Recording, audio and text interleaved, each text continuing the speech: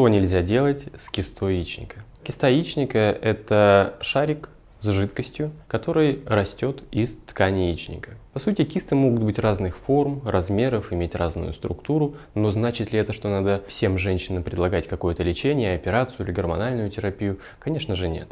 Образования в яичниках могут вырастать достаточно внушительных размеров, от 3-4 см до 20-30 и иногда даже больше. Когда мы говорим о кисте, то принципиально мы боимся двух осложнений. Первое это перекрут, второе это разрыв.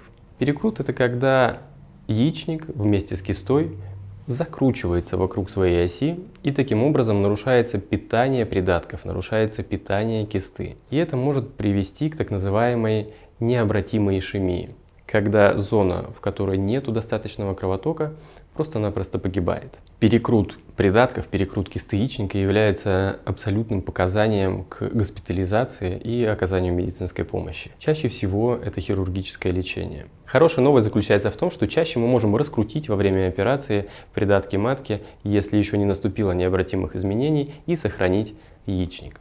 Второе осложнение – это разрыв кисты.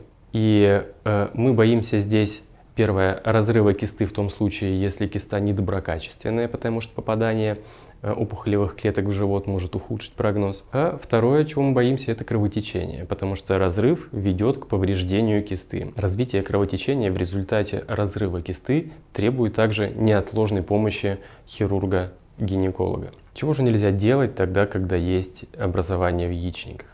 Основным фактором, вследствие чего происходит перекрут или разрыв, является повышение давления в животе. А повышение давления в животе происходит из-за физической активности, физических нагрузок. Это не значит, что надо себя полностью ограничивать, если вам поставили диагноз киста яичника. Есть статистика, согласно которой риск увеличивается разрыва или перекрута в образованиях больше 10 сантиметров. До 10 сантиметров риск не столь значительный. Тем не менее, если есть киста яичника больших размеров, то стоит в ряде случаев ограничить себя именно от интенсивных физических нагрузок, именно от интенсивных занятий спортом. Это не значит, что полностью надо себя лимитировать во всем, но тем не менее лишняя осторожность не повредит.